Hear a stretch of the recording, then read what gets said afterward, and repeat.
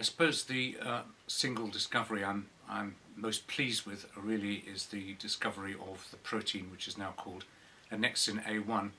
as a, as a mediator of steroid action. And um, this was the result of quite a lot of work on steroid action uh, in the 80s, um, which culminated in a single experiment uh, which demonstrated unequivocally that steroids caused the release of a soluble protein which had steroid-like effects uh, on other cells. Uh, this, uh, when it was finally sequenced and cloned, um, turned out to be a very important property of the protein, which is now well recognized.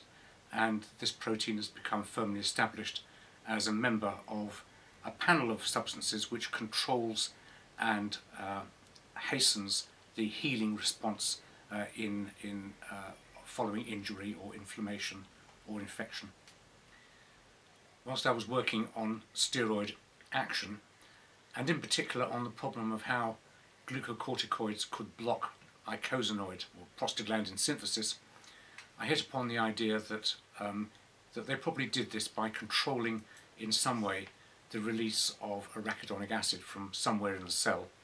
because the release of arachidonic acid is the uh, rate limiting step in prostaglandin synthesis.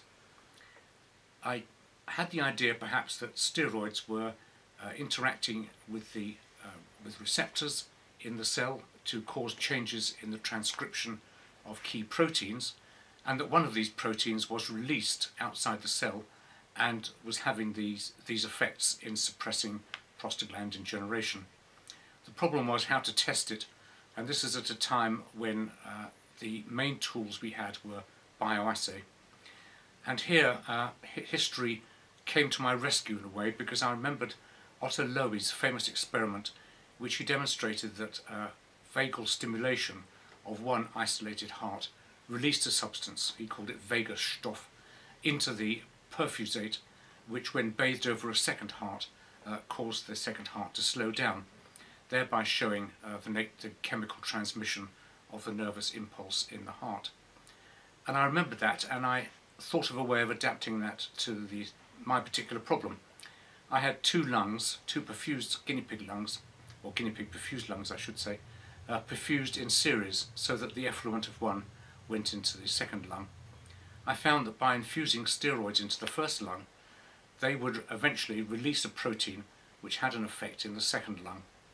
I knew it couldn't be the steroids that were having the effect in the second lung